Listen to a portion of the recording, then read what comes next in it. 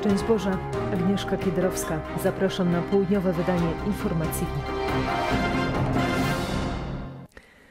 Rozpoczynamy od wystąpienia byłej premier europoseł PiSu Beaty Szydło w Parlamencie Europejskim. Przestrzegała ona unijnych polityków przed narzucaniem Polsce ich własnej wizji demokracji, która nie uwzględnia wyboru, jakiego Polacy dokonali w głosowaniu do parlamentu. Jak mam odebrać słowa pana przewodniczącego Webera, który mówi o wspieraniu Donalda Tuska, a więc włącza się w walkę polityczną wewnętrzną w kampanię wyborczą w Polsce? Czy to ma być też demokracja, która szanuje wybory polityczne obywateli w państwach członkowskich? O jakiej praworządności my mówimy? Czy o tej praworządności, która szanuje konstytucje poszczególnych państw członkowskich i nasze zasady, nasze traktaty, czy taka, która jest dobra właśnie dla Niemiec, dla Francji, czy dla tych większych, bogatszych, którzy chcą in, swoją wizję świata i Europy narzucić innym? Potrzebujemy jedności i solidarności. Za naszą granicą jest wojna. Ta wojna może dotknąć nas wszystkich. Dzisiaj musimy zjednoczyć się i budować jedność, żeby przeciwstawić się Putinowi, wyciągać wnioski z przeszłości. Nie chcę przypominać również o wsparciu dla Putina i dla Rosji tutaj w tej Izbie. Nie chcę przypominać, że to byli kanclerze Niemiec, były kanclerz niemiecki wspierał Putina i politykę energetyczną tego kraju. A teraz Sejm. Na rozpoczętym posiedzeniu posłowie zajmują się projektem uchwały w sprawie niewypłaconych reparacji od Niemiec. Po propozycji PiSu ze swoją inicjatywą wyszła też opozycja. I to po tej stronie sceny politycznej pojawia się pomysł, aby temat reparacji od Niemiec połączyć ze zbrodniami rosyjskimi. Chcemy, żeby parlament, y, mam nadzieję, że jednogłośnie wezwał rząd y, Republiki Federalnej Niemiec do wypłacenia Polsce y, reparacji. Dziś, po kilku lat pra- latach pracy, mamy bardzo kompleksowy, o dużej wadze i faktograficznej, i naukowej raport na temat strat poniesionych przez Polskę w wyniku wojny i okupacji niemieckiej. I tym się zajmujemy. Powtarzam, nie negując w żaden sposób odpowiedzialności Rosji, moje wewnętrzne przekonanie jest takie, że ten temat podnoszony jest przez opozycję niestety po to, żeby właśnie sprawę nieco rozmyć, żeby do odpowiedzialności Niemiec dorzucić dodatkowe tematy. Więc mamy znowu opozycję, która ma problem z jednoznacznym domaganiem się od Niemiec e, reparacji. Prezes PiSu Jarosław Kaczyński zapowiedział, że rząd utrzyma ceny prądu dla dużej grupy najuboższych osób na dotychczasowym poziomie. Większe ulgi będą przysługiwały tym, którzy zaczną oszczędzać. Rząd próbował oddziaływać na ceny energii m.in. poprzez tarczę antyinflacyjną. Obniżka podatków to jednak za mało, by uchronić Polaków przed podwyżkami. Inflacja w sierpniu wciąż była na kursie wznoszącym, do czego rękę dodatkowo przykłada Władimir Putin. Rząd musi szukać kolejnych rozwiązań, a prezes PiSu Jarosław Kaczyński ogłosił, w którym kierunku pójdą nowe, wcześniej nieznane propozycje. podjęliśmy działania zmierzające do tego, żeby prąd dla każdej rodziny, dla gospodarstwa domowego do 2000 kW był po cenie stałej i to w gruncie rzeczy dotychczasowej.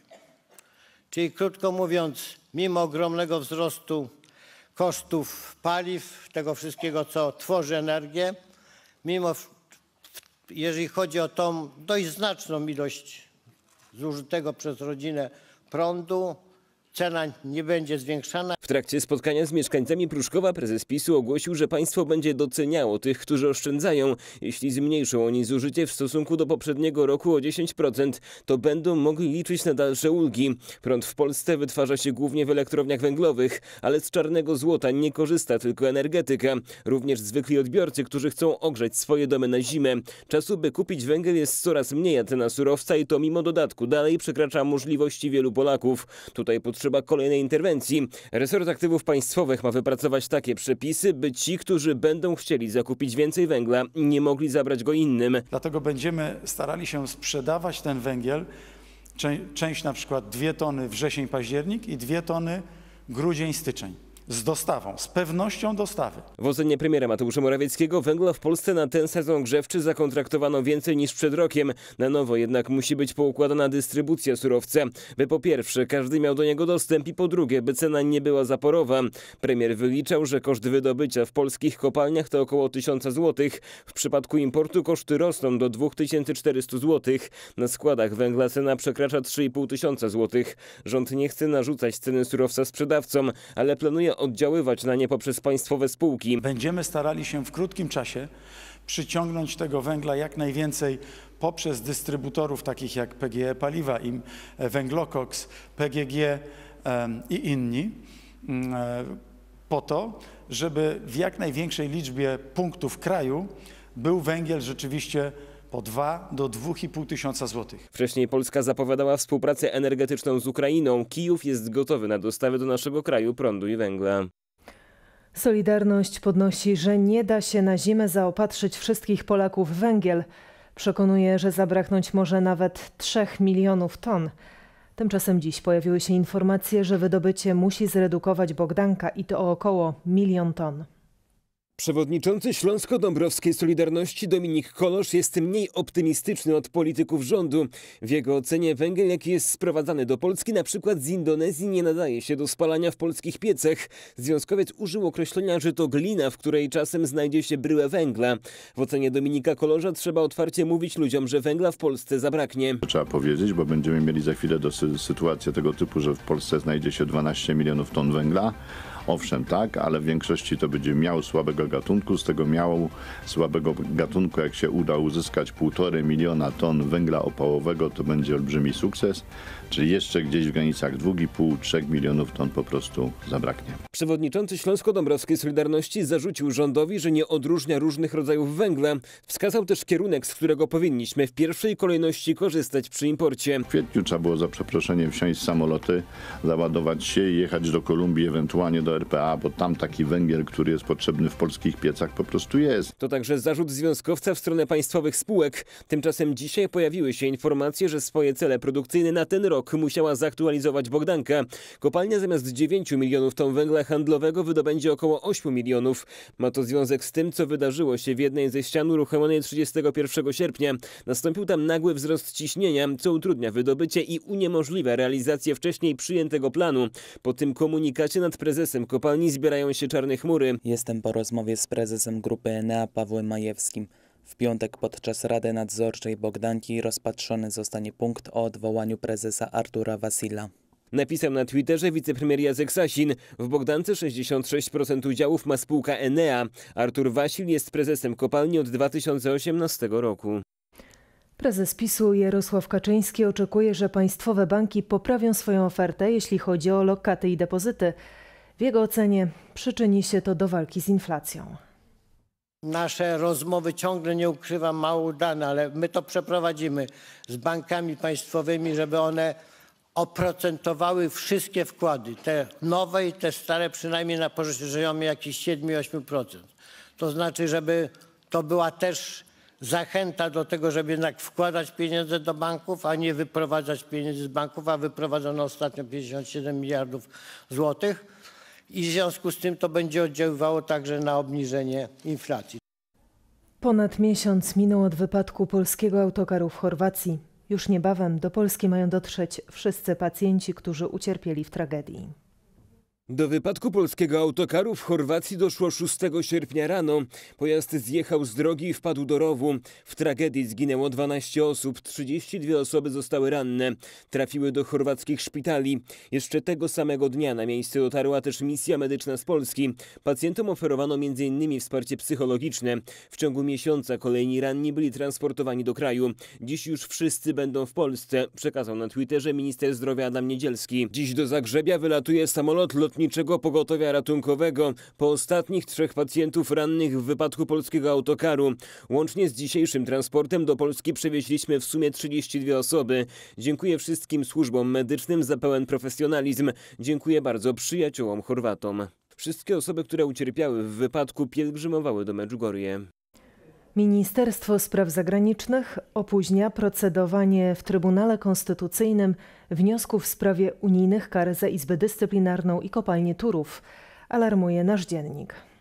Pod koniec października ubiegłego roku CUE nałożył na Polskę karę miliona euro dziennie. Zażądał przy tym likwidacji Izby Dyscyplinarnej Sądu Najwyższego. Wcześniej unijni sędziowie postanowili, że Polska ma płacić 500 tysięcy euro dziennie za nieprzestanie wydobycia węgla brunatnego w kopalni Turów. Sprawą bezprawnych działań unijnych instytucji miał się zająć Trybunał Konstytucyjny.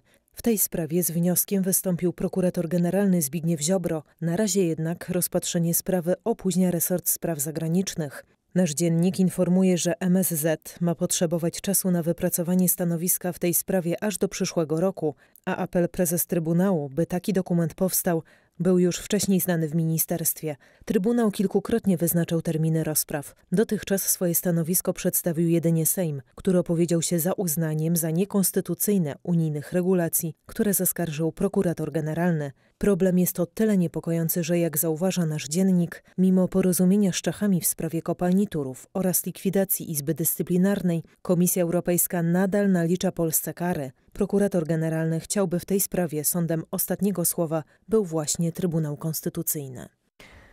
A teraz mieszkalnictwo. W najbliższych latach ma powstać w Polsce 12 tysięcy mieszkań efektywnych energetycznie. 115 tysięcy doczeka się termomodernizacji. Projekt ustawy w tej sprawie, nad którym pracuje Sejm, uwzględnia środki z KPO i realizuje kamienie milowe. Choć środków z KPO jeszcze nie ma i na razie widać przy nich mocny znak zapytania, to realizowane są już kamienie milowe uzgodnione z Komisją Europejską. Chodzi o te dotyczące mieszkalnictwa. Na Sejmowej Komisji Infrastruktury rozpoczęło się procedowanie przepisów ustawy wspierających poprawę warunków mieszkaniowych. Szczegóły projektu przedstawił wiceminister rozwoju i technologii Piotr Uściński. Wyjaśnił, że regulacje mają poprawić efektywność energetyczną i zapewnić dostęp do OZE w budynkach wielorodzinnych. Bezpośrednio skorzystają na tym gminy, wspólnoty mieszkaniowe, spółdzielnie TBS i SIMy, a pośrednio beneficjentami będą mieszkańcy tych budynków, którzy odczują zmiany w rachunkach za energię. Polska jest zobowiązana wybudować ponad 12 tysięcy mieszkań. Na ten cel w pożyczkowej części KPO zarezerwowano 775 milionów euro. Inwestorzy, którzy spełnią określone kryteria, otrzymają wsparcie. W zamian za to, że inwestorzy będą budowali bardziej efektywne energetycznie budynki, dostaną większe wsparcie dzięki środkom z KPO. I jeżeli inwestorzy spełnią te wszystkie warunki, będą mogli e, otrzymać e, dofinansowanie sięgające nawet 95% kosztów inwestycji w przypadku budownictwa komunalnego. Przy tych 95% to 15% będzie z KPO, 80% to jest fundusz dopłat już istniejący e, instrument wsparcia. W przypadku budownictwa społecznego wsparcie zostanie powiększone z obecnych 35% z funduszu dopłat do 60% przy uwzględnieniu środków z KPO. Druga część programu obejmuje termomodernizację, remonty i instalacje OZE w już istniejących budynkach. Do połowy 2026 roku w ramach inwestycji zostaną zmodernizowane budynki obejmujące ponad 115 tysięcy mieszkań. I tutaj przewidziane zostało wsparcie w wysokości 36% kosztów przedsięwzięcia termomodernizacyjnego. Wzrasta ono do 41% przy połączeniu go z OZE. Nawet do 90% będą mogły uzyskać budynki i lokale komunalne. Środki z KPO na tę część programu mają wynieść 100 milionów euro, ale będą silnie wsparte pieniędzmi krajowymi. Politycy opozycji pytali, jak finansować inwestycje, skoro wciąż nie ma środków z Brukseli. W odpowiedzi wiceminister Piotr Uściński przekazał, że nie został złożony jeszcze wniosek o pierwszą płatność z KPO, a warunkiem, by tak się stało, jest właśnie przyjęcie procedowanego projektu ustawy. Ojciec Święty Franciszek przebywa z wizytą apostolską w Kazachstanie.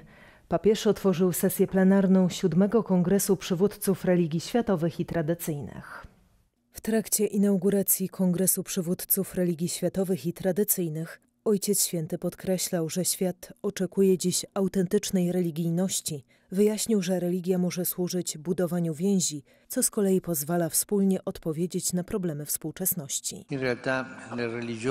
Poszukiwanie transcendencji i święta wartość braterstwa mogą bowiem inspirować i oświecać wybory, jakich należy dokonać w sytuacji kryzysów geopolitycznych, społecznych, ekonomicznych, ekologicznych, ale także u podstaw kryzysów duchowych, które dotykają wiele współczesnych instytucji, także demokracji, zagrażając bezpieczeństwu i zgodzie między narodami. Dlatego potrzebujemy religii, aby odpowiedzieć odpowiedzieć na pragnienie pokoju w świecie i na pragnienie nieskończoności znajdujące się w sercu każdego człowieka. Ojciec Święty wskazywał, że tak długo jak będą szaleć nierówności i niesprawiedliwość, nie będą mogły ustać nienawiść, przemoc, terroryzm. Dlatego globalnym wyzwaniem, które szczególnie dotyczy osób wierzących, jest wyzwanie pokoju.